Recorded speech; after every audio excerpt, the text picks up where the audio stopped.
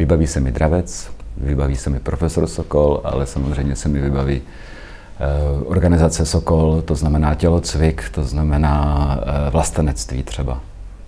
Eh, taky aktivní přístup možná k veřejnému životu, aspoň jak vnímám Sokola dnes.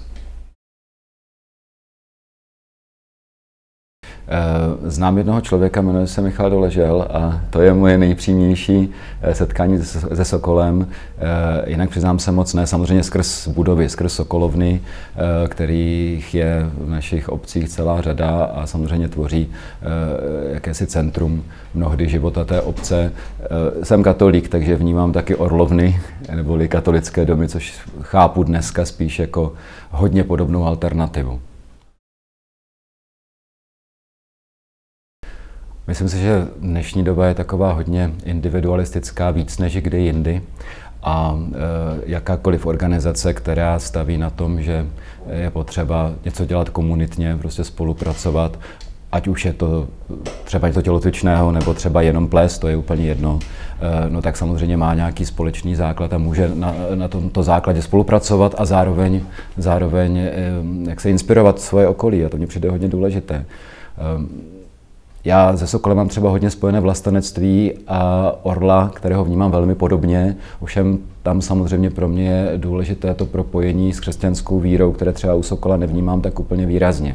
To znamená, eh, Nechci říct, že by vlastenectví bylo něco nedůležitého, důležité to samozřejmě je, ale myslím si, že i vlastenectví může mít eh, polohy nacionální, které prostě dobré nejsou, které jsou sobecké a myslím si, že tam vždycky ta korekce eh, nějakého takového eh, duchovního přístupu, nějakého podstatnějšího přístupu musí být.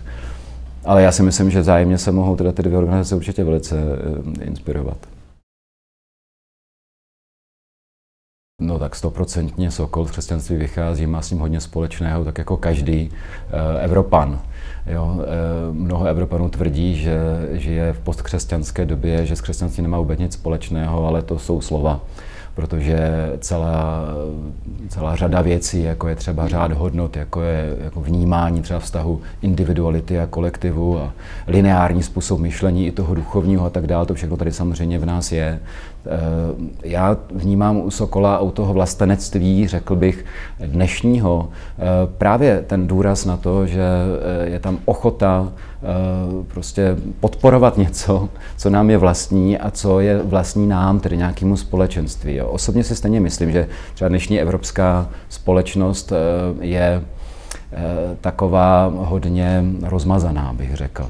Já jsem nedávno zjistil při volbách do Evropského parlamentu, že motem Evropské unie je jednota v rozmanitosti a dost mě to rozčililo, protože tady eh, tuhle tu větu jednoduchou mám spojenou s Tomášem Špidlíkem, kardinálem a Janem Pavlem II., eh, kteří používali, ale vnímali to skutečně tak, jak je to myšleno, že jednota spočívá v rozmanitosti, to znamená, každý si je vědom toho, kým je, a, a je jim velice rád, je velice rád nejenom eh, Čechem, Moravanem, Slezanem, Slovákem, Chodem, ale třeba i člověkem, který eh, nevím, žije v nějaké komunitě městské nebo na nějaké konkrétní vesnici, je prostě velice rád, je na to hrdý.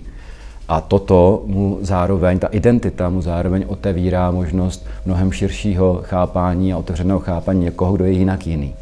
Když to evropská myšlenka si myslím, tak jak je dneska realizována, eh, spočívá spíš v tom, že, že ty rozdíly mezi náma eh, jsou, jestli někdo jí takový nebo makový sír, eh, nebo pije pivo nebo víno a tím to hasne. A to si myslím, že je hodně špatně. A jestli Sokol třeba v tomto ohledu může v něčem zafungovat, tak je to právě v tom, ano, tak jako mám nějakou vlast, žiju v ní a má nějakou historii, má nějaký, spe, nějaká specifika a je důležité být na to hrdý, ale nebýt pišný a nesnažit se tím svým eh, válcovat i druhé. A spíš inspirovat. Ono, eh, vlastenectví je něco, co třeba v naší asi české společnosti je tak jako zapomínané nebo možná až opovrhované. Například, když se eh, mluví o vlastenectví v souvislosti se Spojenými státy, tak to je skoro, patří to k jakému se bontonu tím opovrhovat, jo, že to teda tam mají tu, tu eh, pěst pravou na, na na hrudi a zpívají teda to hymnu a tak dál. Ale ono to má přece jenom spoustu zajímavého a silného v sobě. Já, mě to taky není blízké, protože já jsem Evropan svým způsobem prohnilý, stejně jako každý jiný Evropan a takový pohodlný, takový trochu dekadentní, to jsme všichni. Eh, ale na druhé straně jsou to právě Spojené státy, které ať už v dobrém, nebo samozřejmě někdy i třeba ve zlém, ale každopádně jsou ochotní jít do něčeho, do nějaké akce e, rychle a naplno. Jo. A to je něco, co si myslím, že nám trošičku chybí. Jo. Neustále ustupování eh, nám moc nepomůže. E, třeba teď je hodně diskutované téma imigrace do Evropy, islámské imigrace a tak. Nemyslím si, že by, že by cestou bylo to, to rozmazání, to, že víte co, vy buďte muslimy, tak jako podle, podle nějakých, eh, já nevím, těch tradic vašich a tak, ale tady jsme máme tu sekulární Evropu a, a tak, eh, oni to tak nikdy brát nebudou. A e, tudíž to může skončit jenom jedním jediným způsobem. Pokud my neuchopíme vlastní identitu, tak ta naše identita prostě skončí. Možná už se tak děje. Jo. Možná je to proces, který, který ani jako je nezvratný. Jo. Ale já doufám, že třeba zrovna Sokolové by mohli eh, pomoct vlastním příkladem, vlastním způsobem eh, života tomu uvědomění si, že prostě identita je důležitá.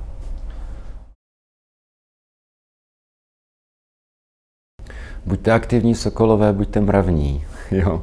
A, no to je asi všechno důležité.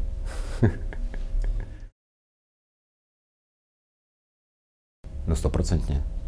Já se přiznám, že eh, v podstatě eh, pro mě to byl, je to otázka relativně nedávné doby, pár let, kdy jsem objevil Sokola, eh, který je občansky aktivní a tím najednou jakoby promluvil k mému srdci. Do té doby pro mě byl Sokol trošičku muzeální kousek. Konec konců jako ten orel, eh, katolické domy, orlovny eh, dneska už v podstatě nefungují moc jako, jako místa, kde by fungoval orel, který je aktivní a využívá ten dům. Ty domy eh, jsou využívány jinak farností nebo nevím kým, někde tam třeba i hospoda nebo co já vím co. Podobně jsem vnímal Sokola, prostě jako ty Sokolovny, zajímavé domy, ale bez lidí jako Sokolů. Zatímco v poslední době jsem zjistil, že Sokolové dělají alespoň v Brně, řadu eh, velmi dobrých aktivistických věcí, řekl bych. Eh, snaží se podporovat eh, to, aby lidi se koukali kolem sebe, aby se zajímali o to, co se děje, aby iniciovali třeba sousedská setkání, kdyby to bylo jenom takto. Jo. A je to nesmírně něco důležitého, mě blízkého a díky tomu se jakoby Sokol z té zasuté paměti mé, kde si téměř z učebnice jak si vylinul trochu do popředí.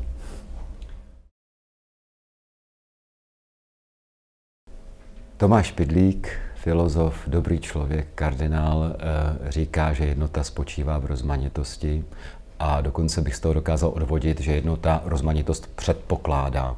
Kdyby nebylo rozmanitosti, tak nikdo nemá ani potřebu vymyslet slovo jednota, protože jsou všichni stejní. To znamená, že je-li něco jednotou, tak uh, má Eh, sjednocovat entity, lidi, osoby, který, eh, které jsou různé a které se dokážou v té různosti obohacovat, inspirovat. Jo. To znamená, že tam eh, v jednotě taky hraje podstatnou roli slovo úcta, nejenom slovo, ale prostě to činění, respekt k druhému, k tomu, jaký je. A možná, že tohle by mohlo být zase něco, co kdyby Sokol žil, Eh, tak by tě mohlo inspirovat druhé. Že jednota nerovná se unifikace, ale jednota rovná se rozmanitost a respekt té rozmanitosti.